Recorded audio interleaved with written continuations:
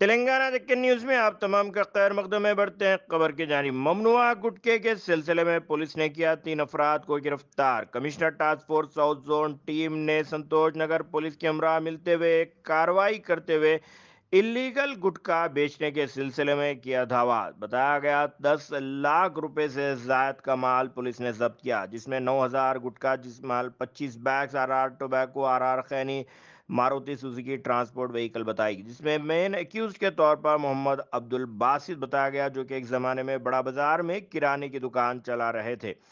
जबकि बाद ज़्यादा आमदनी की चक्कर में इस गैर कानूनी धंधे में मुलविस हो गए। पुलिस ने कार्रवाई करते हुए ने अपनी हिरासत में ले लिया।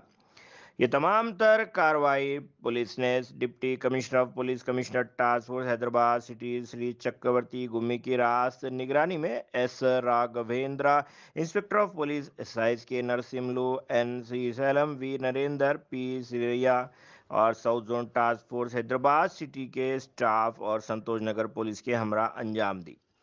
अगर अभी तक आपने चैनल को सब्सक्राइब नहीं किया तो फौरी कल आलमी मुल्क रियासती मुकामी खबरों के लिए देखते रहिए आपका अपना चैनल तेलंगाना दक्कन न्यूज़।